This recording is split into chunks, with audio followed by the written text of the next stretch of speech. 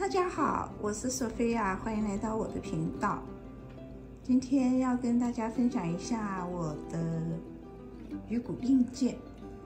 昨天呢，我就闻到很香的鱼骨令箭花的味道，它的香气特别的好闻。今天早晨我就看见了这个花苞坠下来了，我也不知道是为什么。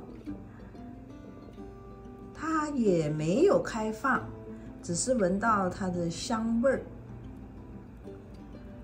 不知道花友们，你们家有没有遇到这种情况？它的花苞其实上长得是挺大的，也挺壮的。我想，我还以为呢，它这几天会开放，结果它并没有开放，它就坠下去了，应该是。凋谢了，这种情况真的是非常的少见，很可惜它没有开放。我还想等着看它这朵花开放。我想也许是时间的关系，或者是最近天气呢变得非常的冷了，晚上这个暖气都开始启动了。夜晚的温降到四十多华氏度了，所以也许是这个天气的关系。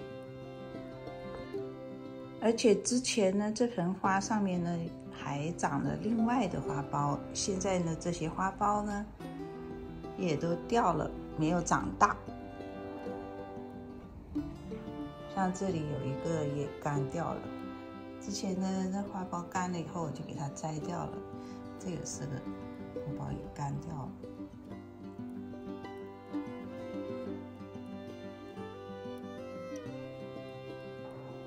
真的很可惜，它没有开花。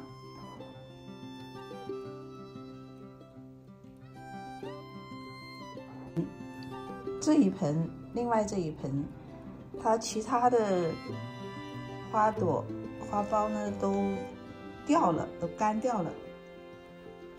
现在就剩下这一朵，这一朵这花苞还在生长，而且长得还不错，看上去。希望它这几天会开放吧。因为我前一段去旅游了，所以没有看到呢。之前的那盆花开了四朵花，很想能看到这一朵花开放。希望我能如愿以偿。而且它这是黄色的花，还是第一次见到这种黄色的花。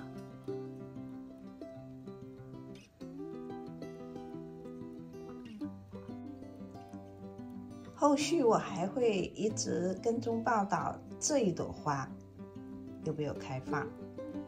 如果是开放了，我会分享给大家。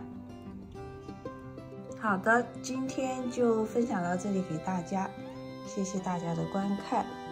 如果喜欢我的频道，就请关注、点赞，并欢迎转发，开启你的小铃铛，你就不会错过我的下一个视频了。